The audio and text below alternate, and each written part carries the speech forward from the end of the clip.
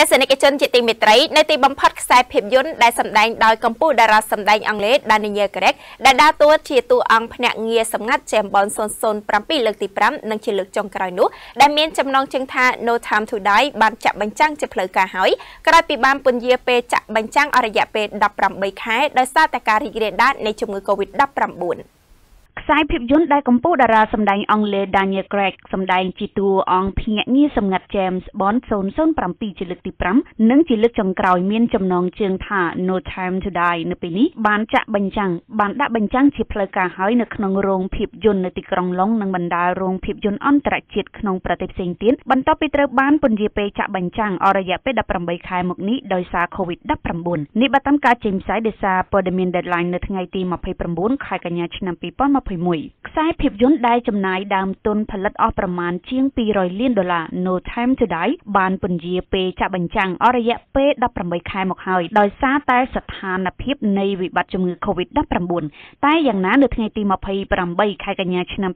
2021គឺបានសម្រេចសម្ពោធការចាក់បញ្ចាំងជាផ្លូវការដោយមានការចូលរួមពីតារាសម្ដែង Daniel Craig និងតួអង្គផ្សេងទៀតដូចជាតារាសម្ដែង Lashana Lynn តារាសម្ដែង Lia Seydoux និងតារាសម្ដែង Ram មីម៉ាឡិកជាដើមអ្វីដែលពិសេសភាពយន្ត No Time to Die គឺជាការវិលត្រឡប់មកវិញរបស់តារាសម្ដែង Daniel Craig ក្នុងនាមជាភ្នាក់ងារសម្ងាត់អង់គ្លេសជាលើកទី5ហើយក៏ជាលើកចុងក្រោយផងដែរយ៉ាងណាមិញសម្រាប់ប្រាក់ចំណូលនៃការបញ្ចាំងថ្ងៃដំបូងនៃភាពយន្ត No Time to Die នៅមិនទាន់មានការបង្ហាញជាផ្លូវការខណៈអ្នកគ្រប់គ្រងរោងភាពយន្តនៅអង់គ្លេសឈ្មោះ Odeon រំពឹងថាភាពយន្តនេះនឹងក្លាយជាភាពយន្តរកចំណូលថ្ងៃបើកឆាកបានច្រើនជាងគេសម្រាប់រោងភាពយន្តខ្លួនគិតចាប់ពីរដូវក្តៅឆ្នាំ2009មកគូជំរាបថាតារាសម្ដែង Daniel Craig បានប្រើប្រាស់ពេលវេលាប្រមាណ15ឆ្នាំមកហើយក្នុងការសម្ដែងជាតួអង្គមេបញ្ជាការតាមរយៈការដើរតួជាតួអង្គ James Bond ដោយភាពយន្តដំបូងគឺមានចំណងជើងថា Casino Royale ចេញឆ្នាំ